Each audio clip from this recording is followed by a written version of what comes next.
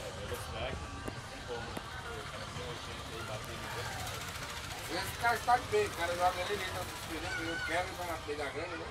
Ele não quebra que vem só com a arrancando uma atrás dele. Dá as costas, cara.